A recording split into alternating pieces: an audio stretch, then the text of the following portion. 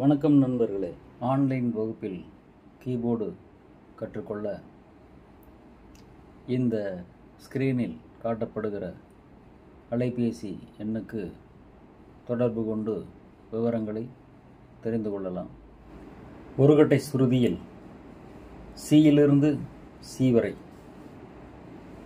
பனிரெண்டு சுரஸ்தானங்கள் இருக்கின்றன. ஏழு வெள்ளைக்கட்டைகள் ஐந்து கருப்பு கட்டைகள் இந்த பனிரெண்டு சுரஸ்தானங்களிலிருந்து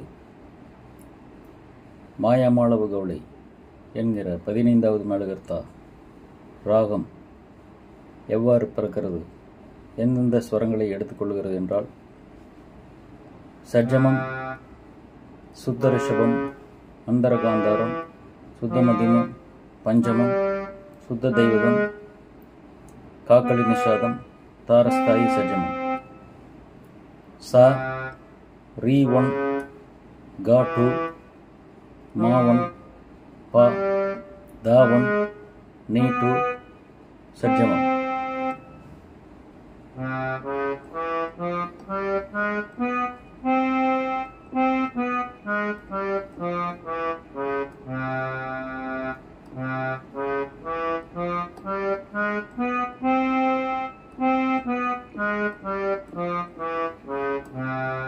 இது ஒருகட்டை சுருதிக்கு மாயமாளவு கவுளை ராகத்தினுடைய ஆரோகண அவரோகணம் சரளி வரிசையின் முதல் பாடமும் அதுவேதான். சரளி வரிசையின் முதல் பாடத்தை மூன்று காலங்களில் வாசிப்பது எப்படி என்பதை பார்க்கலாம். மெட்ரோனோம் பகுதியில் டெம்போ எழுபது என்கிற அளவில் வைத்துக்கொண்டு ஒரு அச்சரத்திற்கு ஒரு சுரமாக வாசித்தால் அது முதல் காலம்.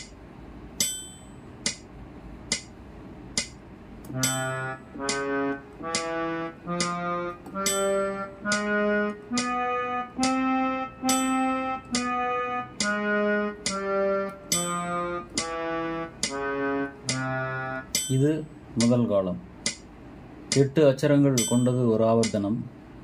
அப்படி பார்க்கும்போது ஒரு ஆவர்த்தனத்தில் ஒரு ஆவர் ஆரோகணம் வாசிக்கிறோம்.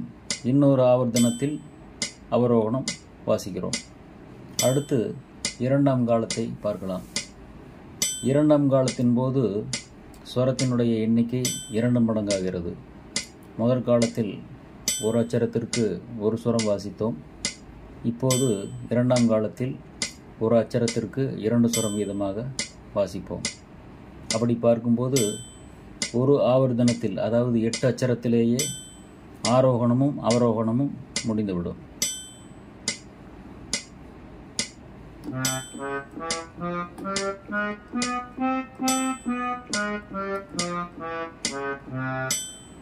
இவ்வாறு இரண்டாம் காலம் வாசிக்க வேண்டும். அடுத்து மூன்றாம் காலம். இந்த மூன்றாம் காலத்தில் ஒரு அச்சரத்திற்கு நான்கு சுரங்கள் வீதமாக வாசிக்க வேண்டும். அப்படி வாசிக்கும்போது முதல் நான்கு அச்சரங்களிலேயே ஆரோகண அவரோகணம் முடிந்துவிடும். மீண்டும் மீதமுள்ள நான்கு அச்சரங்களில் இன்னொரு முறை ஆரோகண அவரோகணம் முடிந்துவிடும். அப்படி பார்க்கும்போது ஒரு முழுமையான ஆவர்த்தனத்தில் அதாவது எட்டு அச்சரங்களில் இரண்டு முறை ஆரோகண அவரோகணம் வாசிக்க வேண்டும்.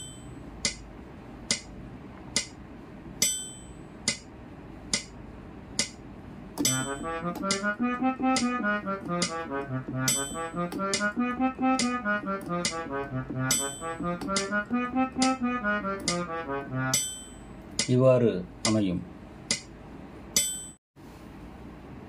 முதலில் தாளமில்லாமல் சுரஸ்தானங்களை அதற்குரிய விரலில் வாசிக்க வேண்டும். முதல் நான்கு விரல்களுக்கு முதல் நான்கு சுரங்கள் முடிந்ததும் மீதமுள்ள நான்கு சுரங்களை மீதமுள்ள நான்கு விரல்களை கொண்டு வாசிக்க வேண்டும்.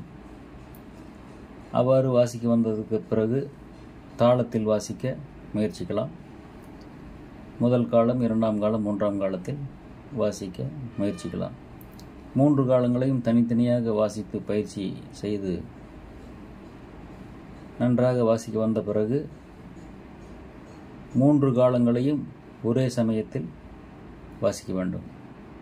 நான் ஸ்டாப்பாக அதாவது இடையில் நிறுத்தாமல் முதல் காலம் முதல் அச்சரம் தொடங்கி மூன்றாம் காலம் கடைசி அச்சரம் வரை இடையில் நிறுத்தாமல் வாசிக்க வேண்டும்.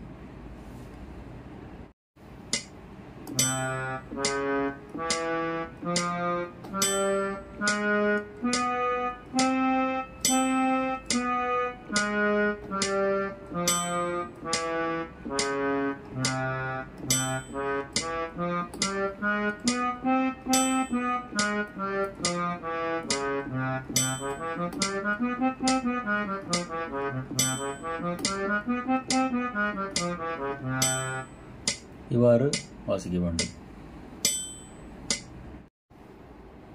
மீண்டும் வேறொரு பாடத்தோடு சந்திக்கலாம். நன்றி வணக்கம்.